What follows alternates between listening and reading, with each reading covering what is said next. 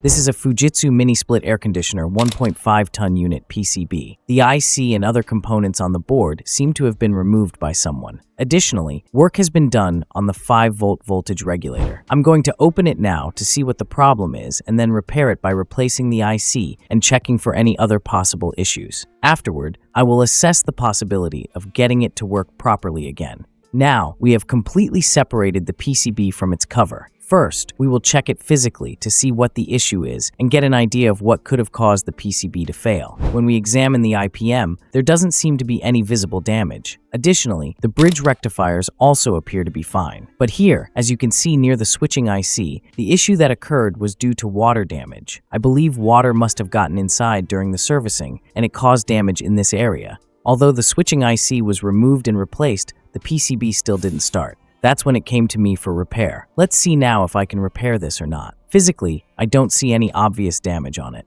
If we look at the PCB from the back, there are some diodes and resistors, but the resistors are hard to spot. We'll need to examine them microscopically to check for any issues. Our main focus now will be this area because the water came in here, and this is where the problem started. We will begin tracing from here and check all the components in this area to see if there's any issue with them. Now we will first test the SMPS system to make sure there's no issue with it. Let's check all the diodes here. First, we'll check diode 51 and then diode 50. These two diodes are opposite to each other in terms of polarity. I will place the probes on the diode, and it is fine. Next, we'll check diode 52, and it's also perfectly fine. I've already checked diode 55, and it was fine as well. Now let's check diode 53, and it's also in good condition. We should also check each diode once more with reverse polarity to ensure there's no leakage or any other issue, but everything looks perfectly fine so far. In addition to the diodes, it is also essential to check the recovery diode, which is diode number 102, because these can often fail, leading to issues. After testing it, it shows correct voltage drop values. I'll also change the polarity to check again. It should show the voltage drop for a short time. This confirms that the recovery diode is working correctly,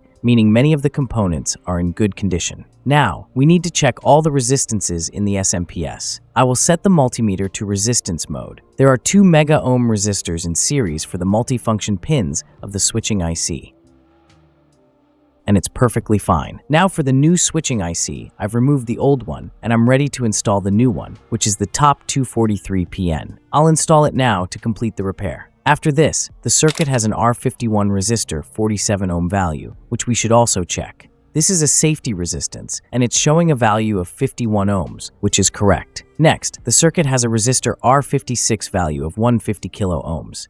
I'll check the value of the 150K resistor, and it's also showing the correct value, so everything seems fine. Here, there are two resistors that we need to check. When we check them, we see they are in series. According to the color code, the individual value of both is 195 kiloohms, and these resistors were affected by the water shortage. When we check them individually, one shows 15 megaohms. After changing the polarity, it shows 5 megaohms, which is still very high resistance. And when we check both of them in series, it shows 8.71 megaohms, indicating that these resistors are faulty and need to be replaced. Also, after changing the polarity again, no value is showing, so both resistors are confirmed to be bad. I will replace both of them and install a new switching IC. Additionally, I will change diode 53. Once everything is replaced, we will check if the system turns on properly. Now, you might think that this PCB is completely fixed, but it's not. There are still some issues remaining. I have desoldered the chopper and voltage regulator, and the system was facing significant problems, which I will show you.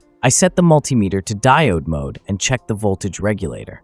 When I applied the probes to its two points, it showed zero, indicating there's a problem. When I switched the multimeter to continuity mode, I found that the capacitors had shorted.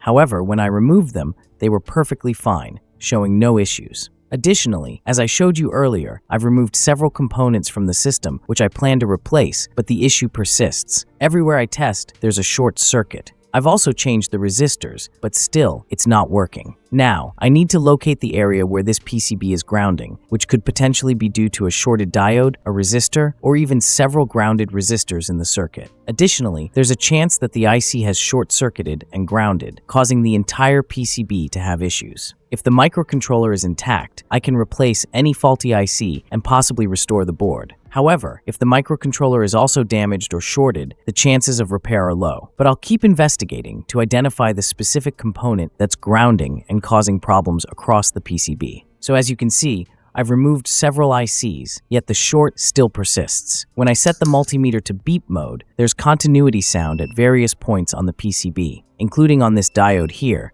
indicating potential grounding issues. It seems that despite all attempts, the short isn't being isolated by individual component removal. This leads me to believe that the microcontroller itself might be the cause of the issue. So, it looks like I'll need to replace the microcontroller to fully resolve this problem. As you can see, I'm using a heat gun set to 380 degrees with an airspeed of 6. Now I'm applying heat to carefully remove the microcontroller from the board.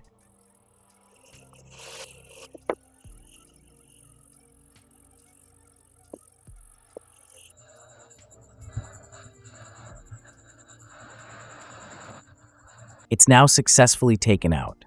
Now that we've removed the microcontroller, you can see that all short circuits have cleared.